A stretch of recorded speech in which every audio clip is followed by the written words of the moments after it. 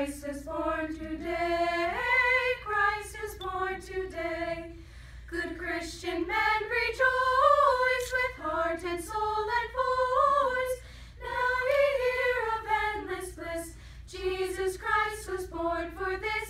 He hath opened the heavenly door and man is blessed evermore. Christ is born for this.